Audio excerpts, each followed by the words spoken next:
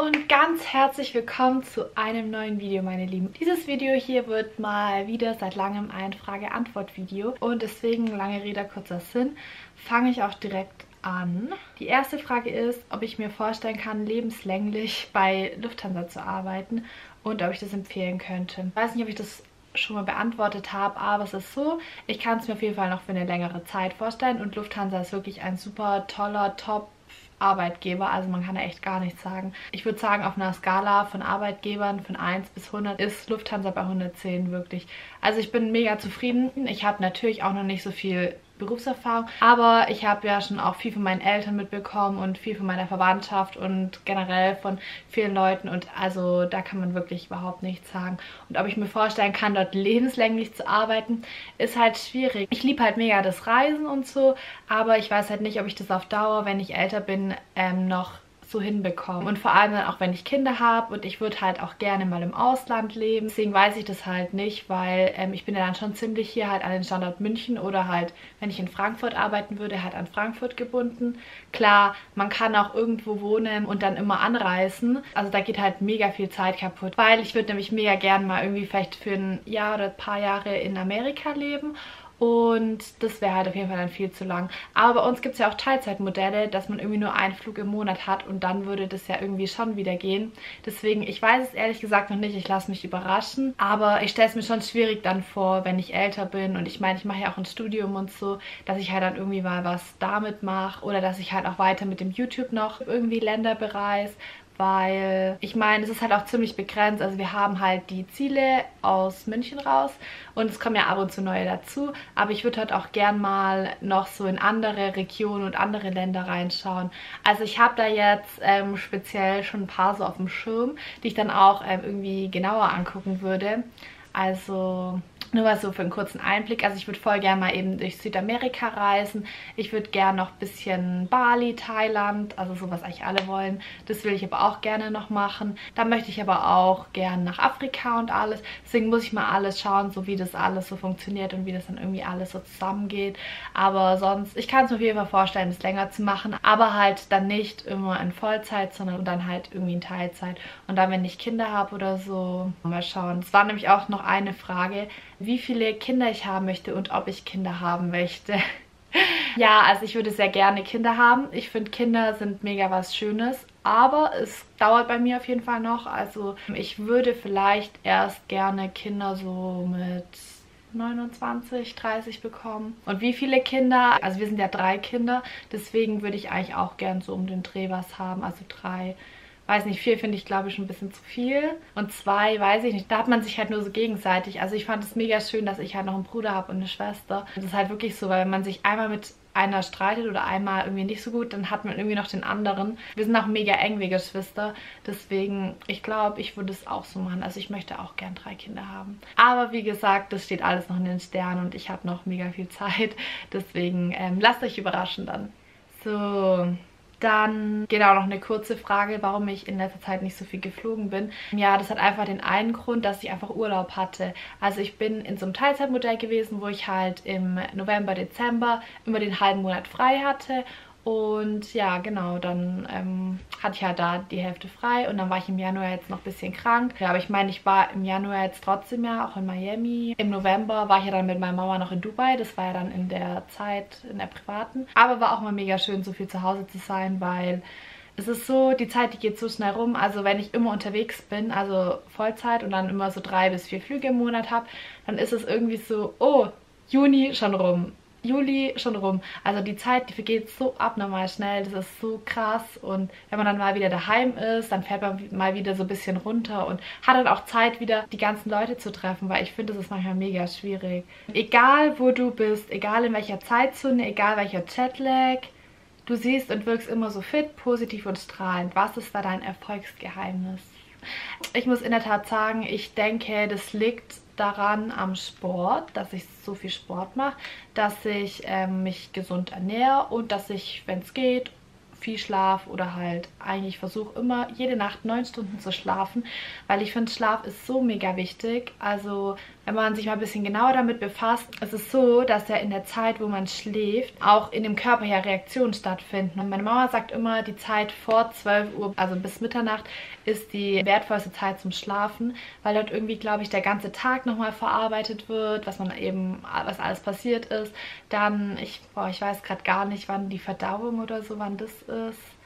Ähm, kann es auf jeden Fall mal nachgucken und irgendwann anders mal erklären. Aber ich glaube auch fest daran, dass eben Schlaf sehr, sehr wichtig ist. Also auch für die Gesundheit. Genau, versuche ich viel zu schlafen. Und deswegen ist es dann nicht so schlimm, wenn ich mal eine Nacht durchmache. Außerdem haben wir auf dem Flug auch mal ein bisschen Zeit so zum Runterkommen. Und ich versuche halt immer, dass ich die neun Stunden schlafe. Und wenn ich eben mal eine Nacht durchgemacht habe, weil ich ja geflogen bin, dann versuche ich immer bis zum Abend wach zu bleiben, damit ich dann wieder normal halt in den normalen Schlafrhythmus reinkomme. Deswegen denke ich, bekomme ich keinen Jetlag. Und was halt auch für mich wichtig ist, dass ich halt immer in der neuen Zeitzone dann morgens halt Sport mache oder auch hier in Deutschland, dass ich dann wieder morgens ins Sport gehe, weil ich habe das Gefühl, einfach durch den Sport, da wird alles angekurbelt und kommt irgendwie im Körper, der ganze Körperkreislauf, also kommt alles in Bewegung und ich fühle mich immer mega fit nach dem Sport. Genau, also ich denke wirklich, das sind eigentlich die Sachen, gesunde Ernährung, Sport, Schlafen. Und Dankeschön, dass ich dann immer so positiv wirke und gut gelaunt. Ach so, ja, und was ich auch noch wichtig finde, so für die gute Laune, ist auch immer rausgehen und Sonne und Licht. Also ich brauche immer Licht und irgendwie so unten voll im Bauch. Also ich brauche immer Essen. Das ist auch ganz wichtig.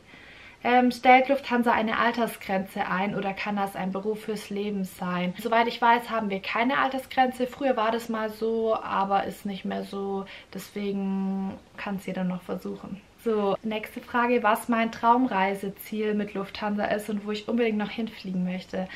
Ich kann es so gar nicht sagen, was mein Traumreiseziel ist. Also ich liebe Miami über alles, weil in Miami schönes Wetter ist, mit Meer, geil. Aber was zum Beispiel nicht so cool ist, dass wir eben nur eine Nacht in Miami haben. Also ist das irgendwie schon ein bisschen wieder so ein Minuspunkt. Aber Miami ist eigentlich so eins meiner Lieblingsziele. Dann liebe ich halt auch Asien und in Asien haben wir immer länger Zeit.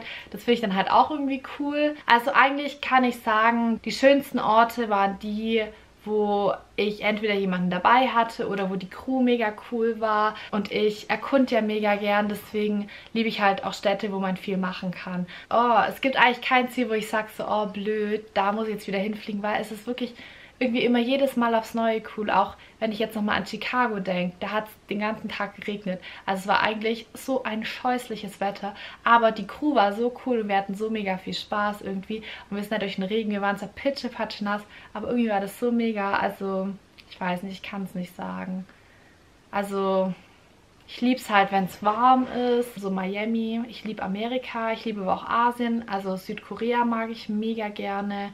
Peking liebe ich auch wegen Shoppen und wegen Massage. Dann oh, ist es schwierig. Also ich finde halt immer, der Mix macht es. Und ich mag ähm, Kurzstrecke nicht so gern weil ich finde immer, da hat man so wenig Zeit und ich brauche mir immer ein bisschen viel Zeit, so auch für mich selber. Und wo ich unbedingt noch hinfliegen möchte, ja, ich will unbedingt nach Indien fliegen. Ich war da ja noch nie. Ich stelle es mir eigentlich mega cool vor. Ich möchte es mal anschauen. Ich möchte zum Taj Mahal. Ich möchte generell mal mir einen Eindruck von Indien verschaffen, weil irgendwie hört man das halt nur und da war ich jetzt wie gesagt noch nicht. Ach so, ja, ich möchte eigentlich zu allen Zielen hin, wo ich noch nicht war. Das wäre auch Mexiko. Ja, dann Kapstadt, also in Afrika, aber das ist immer ziemlich schwierig zu bekommen. Ja, Toronto habe ich auch noch nicht, also von München aus. Ich möchte auch unbedingt mit einer Freundin jetzt mal nach Japan, also nach Tokio nochmal. Keine Ahnung, es gibt einfach so viel. In Denver wollen wir auch noch was Cooles angucken. Ich weiß nicht, ob ich das schon mal erzählt habe. Ich möchte auch mal wieder nach New York. Da war ich auch schon lange nicht mehr. Und irgendwie habe ich mega Lust zurzeit auf New York. Jetzt sind es nur noch ein paar Fragen, wie ich mir mein Leben in fünf Jahren vorstelle. Also in fünf Jahren, da bin ich 25, also kurz vor 26. Ich habe auf jeden Fall mein Studium abgeschlossen. Ich finde es echt schwierig. Oh mein Gott, in fünf Jahren. Oh man, eigentlich will ich noch gar nicht so weit denken, weil ich will gar nicht ähm, so alt werden. Ich würde auf jeden Fall dann gerne im Ausland leben denke ich mal, mit 25. Ich möchte mein Studium ja abgeschlossen haben. Ich möchte, also ich muss es mal nachschauen, weil ich habe so ein Buch, da schreibe ich immer so meine Wünsche rein und alles. Also ich möchte mich auf jeden Fall weiterentwickeln, weiter lernen, noch erfolgreicher sein mit YouTube, noch erfolgreicher mit Instagram. Ich möchte woanders leben, also ich möchte nicht mehr hier in Heidenheim leben. Ich möchte auf jeden Fall wo leben, wo es wärmer ist. Also ich mag leider das Wetter hier nicht so. Also ich finde halt immer den Sommer zu kurz und den Winter zu lang. Ich möchte mein Studium abgeschlossen haben und eventuell, ich meine, okay, sind dann fünf Jahre, ähm, dann möchte ich wahrscheinlich noch einen Master haben. Dann möchte ich natürlich einen tollen Freund an meiner Seite haben. Würde auf jeden Fall bis dahin gerne, ich kann mal kurz aufzählen, welche Länder ich gerne bis dahin gesehen haben möchte. Das ist so lustig. Ich habe hier so ein Buch, da stehen so Sachen drin, so über mein Leben oder halt, wenn mir einfach immer so Sachen einfallen. Oder auch so meine Wünsche, meine Ziele. Ja, finde ich voll gut. Also man muss immer alles aufschreiben, weil ich finde, man vergisst das immer alles wieder. Ach so, ja, vielleicht mit 25 oder 26 würde ich gerne heiraten. Dann würde ich auf jeden Fall gerne eine Traumhochzeit haben. Also ihr müsst eh wissen, wenn ich heirate, meine Heirat, die soll ganz cool werden. Ich habe schon beschlossen mit meinen Leuten, dass wir es so machen. Also ich fahre erstmal eine Woche in Junggesellenabschied, also irgendwo hin. Geil, so nur Girls, so entspannen, bräunen und so. Und dann will ich auch meine Hochzeit irgendwo richtig geil haben. Also ich will am Strand gern eine, so ich könnte es mir in Griechenland vorstellen, weil da können ja auch ziemlich viele Leute kommen. Ich will eine riesige Hochzeit haben. Also ich will so eine, die man nicht vergisst. Also ich mal gucken. also welche Länder ich bis dahin noch bereisen will, passt auf. Bora Bora möchte ich, Indien, Hawaii. Oh, Hawaii. Rio, Mexiko würde ich gerne, dann genau auf den Fuji in Tokio. Dann möchte ich auf die Malediven. Dann möchte ich nach Monaco. Dann möchte ich, passt auf, Schildkröten in Australien oder irgendwo Schildkröten retten würde ich voll gern. Dann würde ich gerne nach Finnland, die Nordlichter angucken. Dann möchte ich mal nach Santorini und nach äh, Mykonos. Dann möchte ich nach Costa Rica. Und ja, jetzt passt auf, was dieses Jahr noch kommen wird oder kommen soll, ist ein Fallschirmsprung. Deswegen bis 25 habe ich auch einen Fallschirmsprung dann gemacht. Dann möchte ich noch nach Miami, also nochmal länger nach Miami. Nach Bali, nach Thailand. Ich möchte einen Roadtrip noch machen durch Amerika. Also ich muss jetzt noch einen kurzen Zwischenschnitt machen, weil ich habe jetzt nochmal nachgedacht über die eine Frage, was meine Ziele noch in fünf Jahren sind und mir sind noch neue Sachen eingefallen. Nämlich, ich möchte unbedingt noch einen Flugschein machen. Da möchte ich noch einen großen Motorradführerschein machen. Dann würde ich voll gern mal bei so einer Fernsehschule mitmachen.